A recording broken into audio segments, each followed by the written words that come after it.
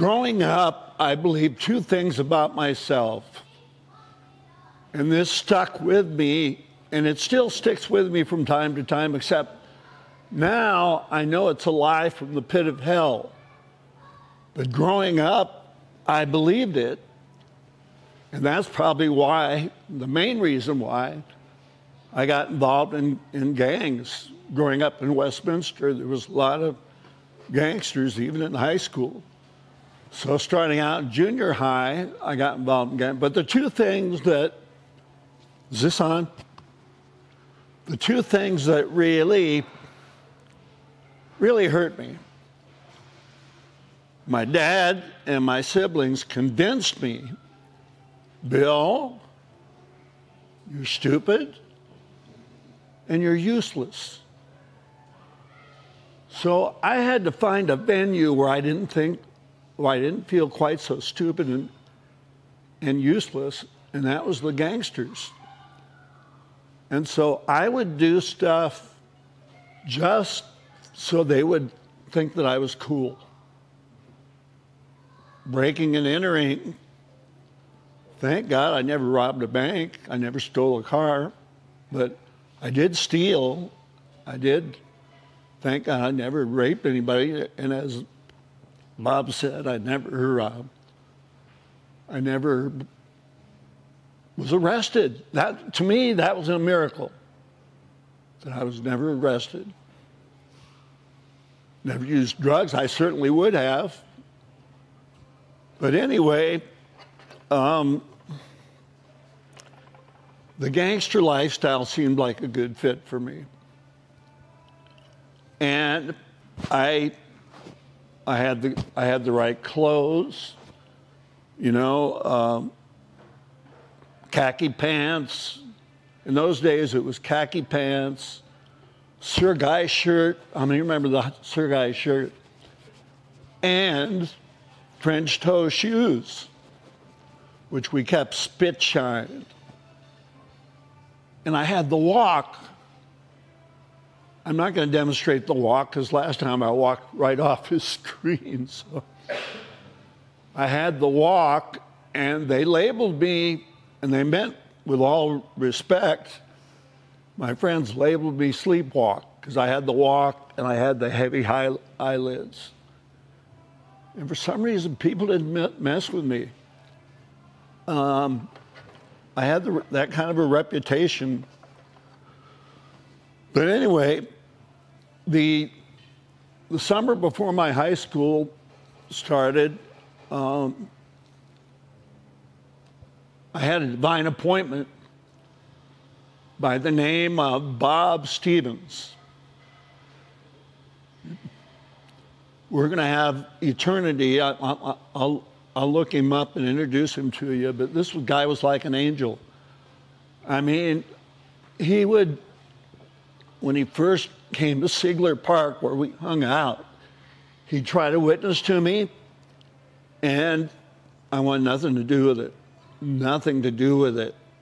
I never read a single verse of scripture, but I was convinced that the Bible was full of a bunch of fairy tales and all Christians were a bunch of sissies. And that's it. And every time he'd come around, he kept coming back. And the more he came back, the ruder and more insulting I was to him. I mean, my, most guys would have just said, Well, forget you. I mean, I, in so many words, I think I might have told him to just go to hell a few times. But um, he kept coming back. Hallelujah. Yeah, the, thank you. The ruder I was, the more he kept returning. But every time he returned, it was with loving kindness. That's the one thing that stuck out about this guy. A few years older, he was an ambulance driver. And uh, I says, Yeah, you can take me to lunch, but you're not going to you are not going to mention the name Jesus Christ. You are not even going to go down that gospel trail. I won't put up with it. So, okay, he said. So, so he took me to lunch many times. This went on for about a month.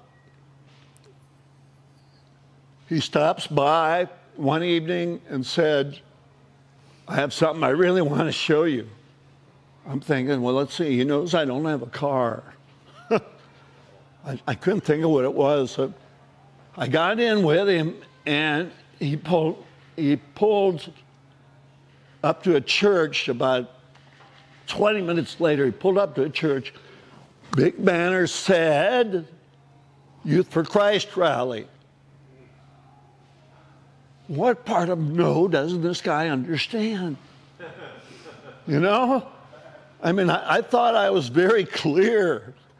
And part of me wanted to punch him out, but there was another part of me that was a little bit curious. Why would he be so tenacious, so relentless in getting me down here and trick me? I mean, I was shanghaied. Do you want to know the truth? So, yeah, God knew what it would take. I mean, God knew what it would take because uh, if I hadn't gotten saved, well, I went in, I heard the gospel for the very first time. Now, my heart was already starting to melt a little bit from this guy, Bob Stevens, keep coming back, coming back, coming back for more of my abuse. So my heart's started to melt. But when I walked into that church, I mean, I, I all but collapsed. And I'm hearing the gospel for the first time. And it's so revealing, it's so convicting. And I found out about God's love. If I had a message for this talk, it would be overwhelmed by God's love. And that's what happened. I was so overwhelmed by God's love that when it came time, I ran down to the altar, poured my heart out. From that day forward, I had a memory verse that's still my memory verse to this day. Uh, I better make sure I get the address right. I think it's 1 Corinthians 5:17. If anyone's in Christ, say it with me. They are new creation. Old things are passed away. Behold, all things become new. I went back my senior year in high school. I didn't have to tell them, guys, I'm a Christian now. I can't hang out with you. I'm carrying a Bible now and telling them what, what God's done for me. Well, Bob Stevens didn't give up. I mean, he didn't quit on me either. He knew I didn't have a car. He said, Well, I'll take you to church. I said, How about Bible study? I, I couldn't get enough. He took me to church. He took me to two different Bible studies. I could not get enough of God's Word. The first night I got saved, he said, Start reading John. I started reading the Gospel of John, and it took me until about 2 in the morning, but I read straight through the Gospel, and it was very eye opening. Now, before I got saved, I was so hard hearted that if I'd have been, you know, if I'd have been arrested and started through the, I probably would have, bro was talking about CYA, I probably would have been up in CYA. And as I got a little older, I'd probably ended up in prison. But here's the, here's the sad thing about it. If I had done a stint in prison, I'd have probably seen it as a badge of honor. I was, I was crazy. But um, I met, shortly after I got saved, I met my wife of now 56 years. And that was a match made in heaven, I'm telling you. That was a match made in heaven. Because when I first met, I says, I asked her a few years ago, I says, Sweetie, what, what was it that first attracted you to me? She looked at me seriously because I was still, when she met me, I still had my gang attire and just, I mean, I, I cleaned up my mouth and all that, but she said, absolutely nothing. No attraction. so I'm thinking, hmm, well, then what, what changed? What changed, Linda? She said, Well, I could see that God was doing a work in you, that God was changing your heart. And that was the attraction. Thankfully, that happened before we got married. So I ended up joining the Navy because we were practically engaged. So I joined the Navy. Now, I want to, uh, blessing after blessing after blessing after, I'm almost ashamed to admit it. I mean, you guys have been through some hard times. I've been through a few hard times. But God has blessed me upon blessed me upon blessed me. In fact, the scripture that says, um, 1 Thessalonians 5, I think it starts with verse 16. Rejoice always, pray without ceasing, and everything give thanks, for this is the will of God in Christ Jesus concerning you. Now, if I had not received another single blessing from the day I got saved, I would still have every reason to rejoice always. Because God looked down on me. I was, I not only was running from Him, I wanted nothing to do with Him. Nothing. And then I read about Paul. Well, he, he I mean, he signed the death warrant on some crazy. At least I didn't go that far. I mean, I'd, I'd disc them, I would cuss them out. I'd,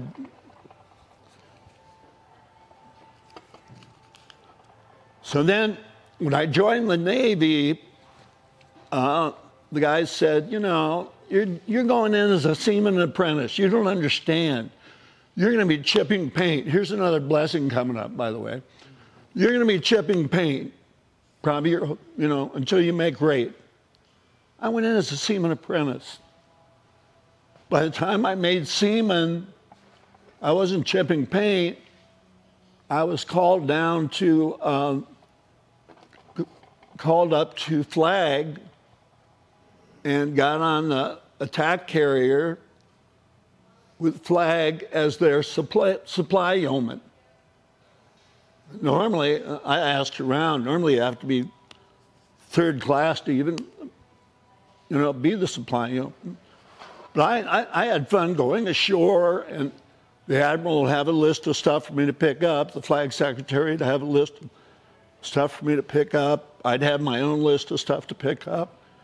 We were in Vietnam's going on, and I end up in the Mediterranean for 10 months. Another blessing. Um, so we got married. Shortly after, I had six months left of shore duty, and we got married. Best decision I ever made, other than coming to Christ. I mean, she's been my my counselor. She's been my support. She's been everything. So we got married, and what a blessing that was. And we both worked part time, and because of my GI Bill, I got to go to college. Here's this stupid and useless guy. Now all of a sudden I'm going to college. It took us five years, but we both got our, our bachelor's degree. So then, with my degree, I'm thinking, okay, I used to think I was a gangster. I think I'd like to work with gangsters. So I hired on with the Orange County Probation Department. And I worked for them for 22 years, mostly supervising gangster teenagers and providing counseling to gangster teenagers. That was my calling. The amazing thing is, if I got their permission, I could share the gospel with them. I just needed their permission. I was blown away. I don't know if they're still doing that now, but so I took a, I got an early pension from the Navy because my wife was starting a, a preschool. Well, she was starting a Christian school. At first, it went all the way up through eighth grade. So I thought, yeah, I can, I can uh, take a, get an early pension and help her with her school, help with the. Um, well, I just saw a dog I recognized. No, wrong dog. I could help her uh, with teaching. One less teacher she'd have to hire. I ended up teaching third grade, but then when there became an opening, I got to teach uh, junior high. She said, Wait a minute, Bill, you don't have a teaching credential. I said, Well, I, all right, I'll, I'll make you a deal. If I take and pass the CBEST test, you let me teach, right? Yeah, I suppose. So I did well on the CBEST test, and we had our school for 20 years. And then my last job was a part time job as uh, part time concierge and part time activities assistant. That was my favorite job I had. I worked with geriatrics over at Life Care Center. It's really changed since then. But I got laid off just before COVID. And what I liked most about that job, I had a captive audience because they weren't going anywhere. So, you know, they even laughed at my jokes. But um, the thing is, I did some real, I mean, some real soul searching because of all the different different job titles titles I had. I became too prideful. Now, if I'm going to be prideful about anything, it should be what? My identity in Christ. Hallelujah. I mean, now that's something to be prideful about, right? But instead, I was prideful about the job I had in the Navy. I was prideful that I graduated from college. I was prideful about the Christian school I helped my wife run. I was prideful about being the concierge and activities assistant. All those things I call, it just it got in the way of me. Now, don't get me wrong, there's some really important roles. My most important role was as a husband. And beyond that, as a father and a grandfather. And in a couple of years, who knows, I could be a great grandfather. But all those roles are nothing compared to my identity in Christ. Because when I keep my priorities straight with my identity in Christ, what happens? I tend to love my wife more. I tend to love my kids more, my grandkids more, my Lord more. I learned that the more I the more I get to know God, still getting to know Him, the more I get to know God, the more I tend to love Him. Hallelujah. Thank you, Lord. And the more I love Him, the more obedient I tend to be. So, I mean, yeah, Lord, I love. Jesus said, if you love me, you'll keep my commandments. What's our most important commandments right now is to love the Lord our God with all our heart, soul, mind, and strength, and our neighbors ourselves. what could be more important than that?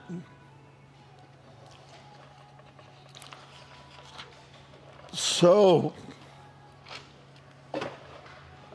like to share a few scriptures with you, if I may. Galatians 2:20. You guys all know it. I've been crucified with Christ. Nevertheless, I live. But it's not I who live, but it's Christ who lives in me. And the life I now live, I live by the faith in the Son of God who loved me and gave himself for me. When I wake up in the morning, oh, there's my 20 minutes. How are we doing on time?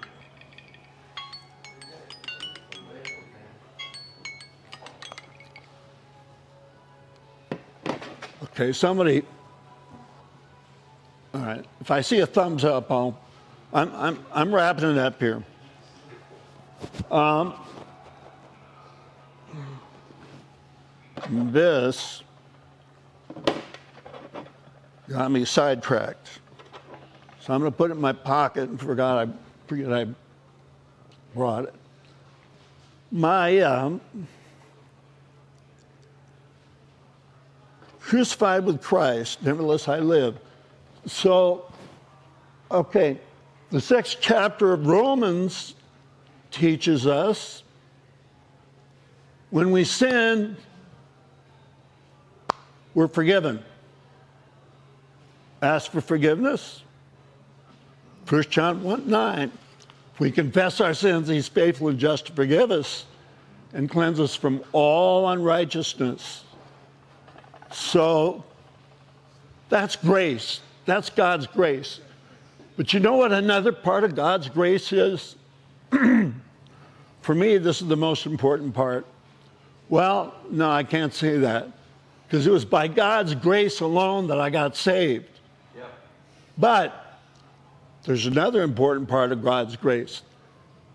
And when you go home, read carefully through the sixth chapter of Romans because it talks about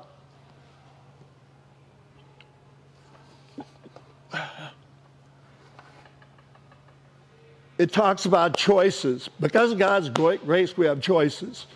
We have the choice to choose Him or reject Him. Once we've chosen Him, we have the choice to obey Him or not obey Him. We have the choice to sin or not sin. And if we make the right choice, He empowers us to stick with that choice. Now, it's a constant struggle. I'm not going to stand here and say I don't sin because I do. But I'll give you one example. I used to worry quite a bit. You can ask my wife. My wife said, One of these days you're going to worry. You have nothing to worry about. Okay? So I would worry, worry, worry. But then when I realized God Help me to not worry. Help me to not worry. I need your help. Confess. Confess. To, worry's a sin because it shows I'm not trusting God. So, what I like to do now is work with guys one on one, in addition to going with Gary. Guys, when I go with Gary to these car shows, I don't have to say, God, which one of these people do you want me to witness to? They come to us, they come to our booth. They see my hat. They're not familiar with it. What are you not ashamed of? They see my shirt. Oh, what's this about No Man Left Behind? I get to tell them, I get to invite them. It's wonderful. So, Let's pray. Lord, I thank you for this group of men. And I thank you for this organization, that I can be a part of it. I thank you that this shirt and this hat provokes people really to come up and initiate the conversation. I praise you for that. I praise you that anything that was said that was not of you, you just erase it from their memory. And we give you all the praise in Jesus' name. Amen.